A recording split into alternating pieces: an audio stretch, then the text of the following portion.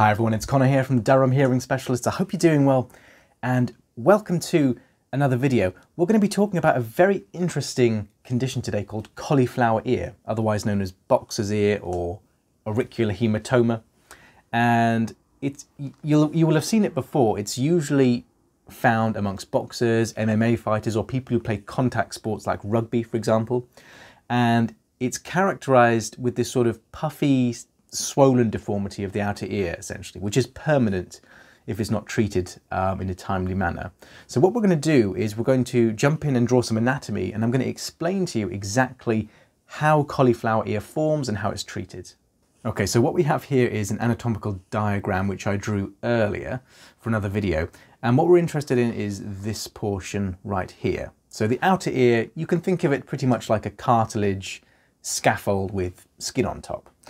However, there is a bit more going on, um, which again is crucial to understanding cauliflower ear. There's actually a, a, another layer in between the cartilage and the skin, which is very important, and I'll explain that now.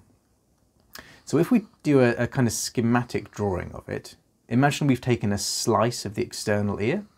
So we have skin, and then the cartilage sandwiched in between, and then we have more skin, like so. So skin, cartilage, skin.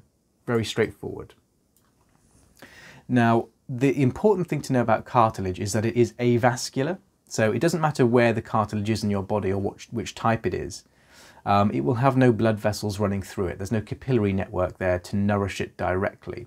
So, and in this case, we have elastic cartilage, which is pretty much only found in the ears. There's a little bit in your throat, but um, elastic cartilage is essentially um, a, combination of collagen fibers and elastin fibers. And elastic cartilage, as the name suggests, has the ability to sort of be squished and deformed and folded, and it will then jump back, jump back to its original place. So, and then you have hyaline cartilage, which is found in the ribs and nose, and then you have uh, fibrous cartilage, which is um, able to withstand quite a bit of pressure. So that would be found in your back, sandwiched between your, your vertebrae. But this elastic cartilage, like the others, does not have uh, any blood vessels running through it. But it is living tissue. So, and these little circles that I've drawn here, the, these represent uh, cells, the cells that are found inside, resident inside the cartilage, and they're called chondrocytes. And chondro, anything with chondro in the name basically means cartilage.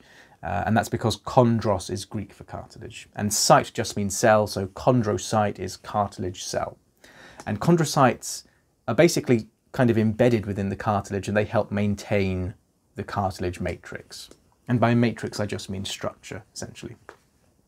So because it doesn't have any blood vessels, how do you think it gets oxygen and nutrients? Well, it does so via this special layer of connective tissue which kind of wraps around the cartilage like a present or like cling film, essentially. And this is called perichondrium. And again, peri just means about or around in Greek. So perichondrium, around cartilage, essentially.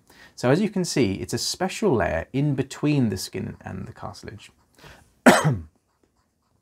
and this does have a blood supply. In fact, it has a few amazing properties, which we'll talk about in a minute. But let's just draw the blood supply in there. And there we go. So the way that this works is that the cartilage will receive oxygen nutrients via diffusion, which is essentially a process where something goes from a high concentration to a low concentration. So if you imagine, for example, you had a bath full of water, and on one side of the bath, you carefully poured a cup of very salty water and, and put that in. If you come back a couple of hours later, the likelihood is that the, the entire bath will taste slightly salty. And that's because, as you would expect, the salt basically kind of diffuses out and kind of spreads out across the entire bath, given, them out, given enough time. So the salt is moving from a high concentration, a high concentration of salty water, and it's kind of spreading out.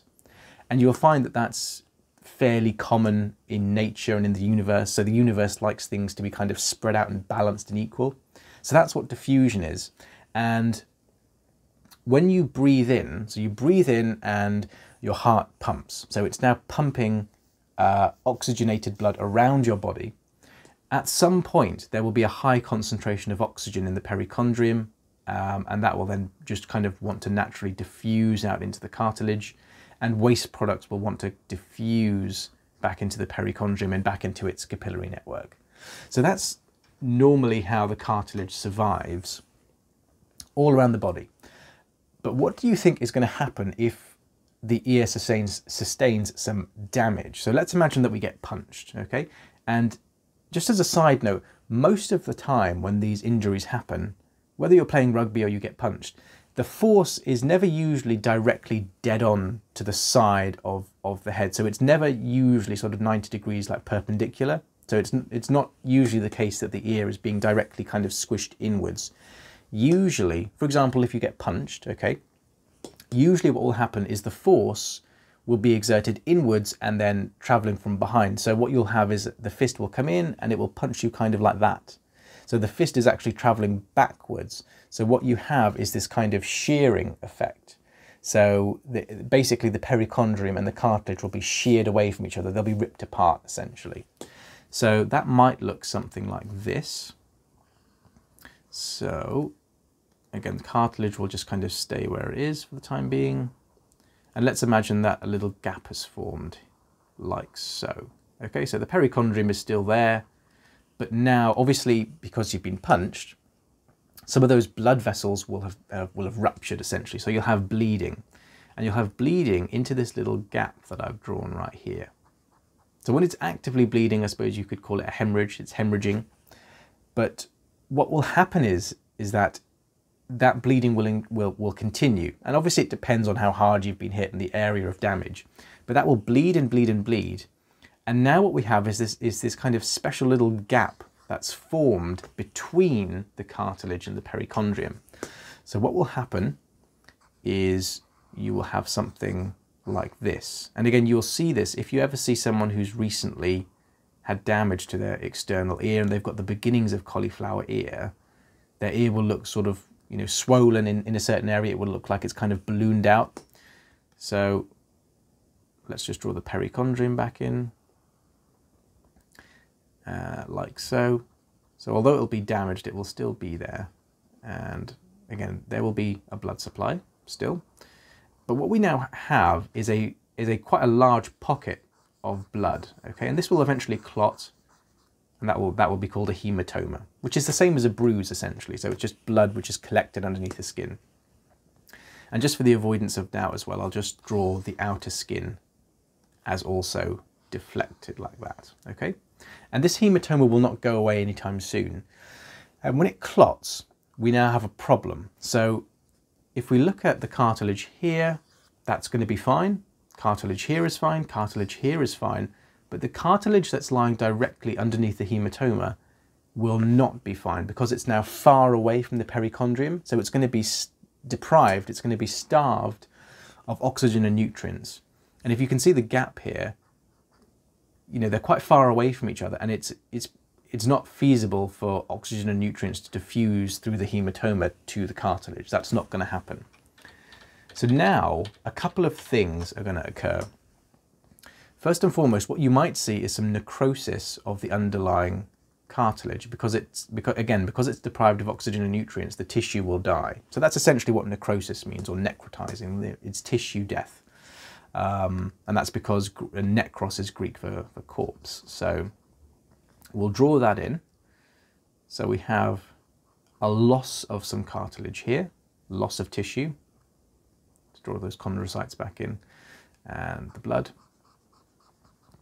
so that's the first thing that, that may happen. The second thing that will happen is that you will have special cells invading the area where the hematoma is. So you'll have special cells coming out from the perichondrium and into the hematoma, and these are called chondroblasts, which I'm drawing as stars, okay? And again, chondro, cartilage, and blast. Typically anything with blast in the name usually refers to a cell that secretes things and like builds something. So if you think about osteoblast is a, is a bone producing cell. So chondroblast is a cartilage producing cell. And the, the way that it's actually able to come out of the perichondrium is because the perichondrium, I've not drawn it, but it actually has two layers. And the layer that's, that's uh, closest to the cartilage, the innermost layer, is, some people call it the chondrogenic layer. And that's because that layer has special stem cells in it. So they're called mesenchymal cells. And as you know, stem cells can transform into lots of different things. So we say it differentiates into different things, which basically means it morphs into different cells essentially. So these mesenchymal cells that are in the peri uh, perichondrium will differentiate into chondroblasts. And these chondroblasts will start laying down new cartilage. Some people call it neocartilage, or they're lay, those cells are laying down new matrix. It's all the same thing. And at the same time, what may happen is these chondrocytes that were that are resident in the cartilage that are, are, fairly close to the area of tissue damage, these may um, uh, uh, split. They may differentiate into chondroblasts. So they may divide and turn into chondroblasts. And I'm not entirely sure about the chemistry here, but I'm fairly sure that this process is triggered by a protein called HMGB1, um, or amphoterin, I think it's called. But essentially, um, I mean, I think it's fair to say that even if I'm not correct on the chemistry front, there are going to be a heck of a lot of chemokines and, and proteins around in this area. So I think it's reasonable to assume that the chondrocytes that are close to the edge will start laying down new matrix for cartilage. So what we now have is a lot of work going on to, to furiously get some cartilage into this area. So what we will eventually end up with is this hematoma will eventually go away and it will be filled with new cartilage. So essentially what we'll have is something like this. There we go. And again, the chondroblasts once they've actually done their job and secreted and laid down lots of lovely cartilage matrix, will essentially become trapped in the matrix that they've made. So they'll become imprisoned within the cartilage and then, then we call them chondrocytes, essentially. So chondroblasts are just immature chondrocytes. And you'll see now that obviously there is a lovely closeness between the perichondrium and the new cartilage, so everything's back to normal essentially, except that we have obviously we have this you know new lump of cartilage which shouldn't be there essentially, but is fine. It's not going to harm the person in any way, shape, or form. It's just you know it, it's just a, a physical deformity, uh, but it's not harmful in any way, shape, or form. So you know that's basically the nuts and bolts of of the, or the pathogenesis of how cauliflower ear forms. Um, the treatment, I mean, the treatment is essentially, you know, very quickly you need to get rid of that blood. So you need to get rid of the hematoma. So if we go back to our original diagram where the blood is there, obviously the sooner you do it, the better, the easier it is to remove. But a lot of people, I mean, you should, you know, technically it should be done by a doctor. So the doctor may make an incision there and then they may just go in with a, with a needle or they may suck it out or um, they may use a, a, syringe and basically just stick it in and then pull the plunger and, and get it out.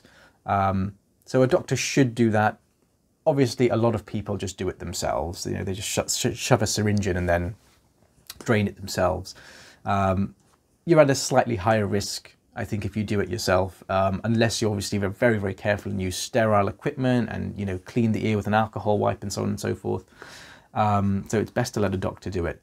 But essentially what you're doing is you're draining out all the blood that's in there and then you're, that will hopefully allow the perichondrium to go back to normal and be in close contact with the cartilage. So you should hopefully return the structure to its original closeness like this.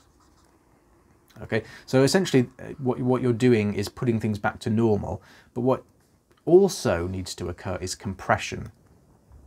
So the skin is back to normal. So what a lot of people will do is they'll apply special bandaging which puts pressure on this area.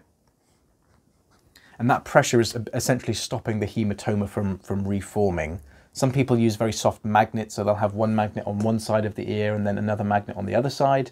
Um, some people use these kind of plastic clips which clip onto the ear. And again, it's all doing the same thing. It's all applying compression to the traumatized area to make sure that you don't get this ballooning hematoma again. So there we go. That's how what cauliflower ear is. That's how it forms. That's how it's treated. Um, I hope you found that interesting. I certainly found it interesting. I find it really interesting how uh, you know the chondroblasts come out of the perichondrium and start laying down matrix and so on and so forth. Um, if anybody knows a little bit more about the chemistry that's involved there, please do let me know and leave a comment. If you guys have any questions, leave them down in the comments section. I will try my very best to get back to you. But I hope you enjoyed that. And of course, thank you very much for liking, watching and subscribing. And I will see you on the next video.